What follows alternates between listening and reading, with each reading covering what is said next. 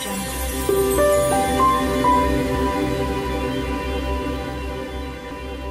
Hi guys welcome to my channel और आज की अपनी इस वीडियो में हम बात करने जा रहे हैं विटामिन ई डे क्रीम के बारे में जैसा कि आप सब लोग जानते हैं कि हम अपनी स्किन को मॉइस्चराइज करने के लिए बहुत ही ज़्यादा मॉइस्चराइज़र ट्राई करते हैं या फिर हम आ, कोई क्रीम यूज़ करते हैं तो क्यों ना हम घर पर बना लें जिसमें कोई केमिकल भी मिक्स नहीं होगा। तो इस वजह से मैंने एक एक्सपेरिमेंट किया है विटामिन ई डे क्रीम के बारे में और इसमें मैंने जो इंग्रेडिएंट्स मिक्स किए हैं वो तो आप समझ सकते हैं कि मैंने कोई भी बाहर का प्रोडक्ट यूज़ नहीं किया होगा। मैंने सब के सब होम रेमेडीज़ या फिर सबके सब घर की चीज़ें यूज़ की हुई हैं और इसको अप्लाई करने के बाद ये बहुत ही स्मूथ फील कराता है, बहुत ही सॉफ्ट स्किन हो जाती है और ये अंदर तक स्किन में एब्जॉर्ब हो जाता है। यानी कि ना तो इसमें थिकनेस लगती है, ना ही इसमें ड्राइनेस लगती है और ना ही ये स्टिकी होता है।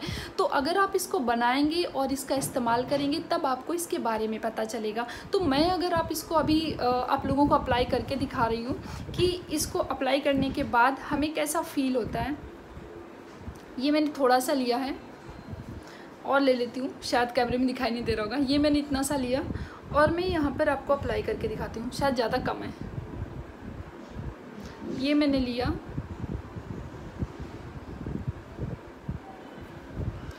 और मैं इसको अप्लाई करके दिखाती हूँ।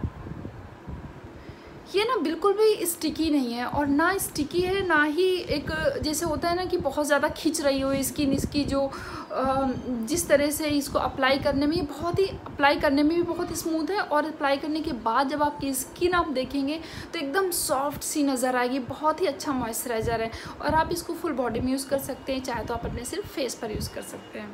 ये आप देख सकते हैं कि मेरी स्किन में पूरी तरह से ये अप्लाई हो गया है।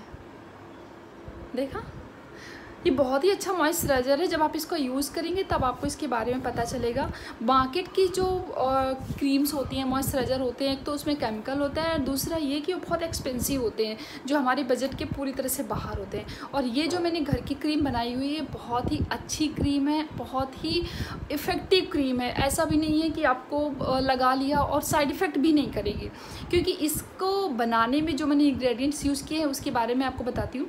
इसको बनाने के लिए मैंने मैंने एक्चुअली थोड़ा सा बनाया था और उसके हिसाब से मैं आपको बताऊँगी।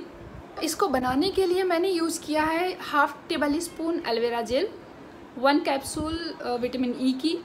और इसमें मैंने वन टेबल स्पून मैंने इसमें यूज़ किया है रोज़ वाटर और half tablespoon olive oil आप ये इंग्रेडिएंट्स मिक्स कर लें सारे और उसको मिक्स करके प्रॉपर मिक्स करके आप किसी भी अपने कंटेनर में स्टोर कर लीजिए।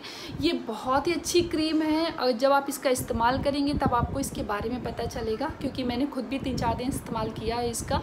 और मार्केट से तो कई गुना बेटर है और आप इसको काफ़ी दिन तक स्टोर करके रख सकते हैं। कुछ फ्रिज में रखने की भी ज़रूरत नहीं है। आप इसको बाकायदा आप महीने, दो महीने आप स्टोर करके रख सकते हैं। कोई चांस नहीं है ख़राब होने का। और आप इसको बनाइए, इस्तेमाल कीजिए और फिर मुझे कमेंट बॉक्स में कमेंट करके ज़रूर बताइए। मैं आपके कमेंट्स का वेट करूँगी और हाँ बनाने से पहले प्लीज़ मेरे चैनल को सब्सक्राइब कर दीजिए लाइक कर दीजिए, मेरे वीडियो को शेयर कर दीजिए ताकि मैं आपको ऐसे ही होम रेमेडीज़ बना बना कर बताती रहूँ। और ये तो डी है, बहुत ही अच्छी है। आप प्लीज़ आप इसका इस्तेमाल कीजिए, बनाइए, मैं बोल रही हूँ बनाइए, ये बहुत अच्छा क्रीम है। ये क्रीम आप किसी भी स्किन टाइप में यूज़ कर सकते हैं, कोई चांस नहीं है कि इसको ड्राई और ऑयली में यूज़ करना या सिर्फ़ नॉर्मल वाले यूज़ कर सकते हैं। आप किसी भी स्किन टाइप में आप इसका यूज़ कर सकते हैं। तो ये रही आपकी क्रीम आप इसको बनाइए। हम आपको फिर से मिलते हैं अपने नेक्स्ट वीडियो में नेक्स्ट टाइम के साथ। तब तक के लिए बाय बाय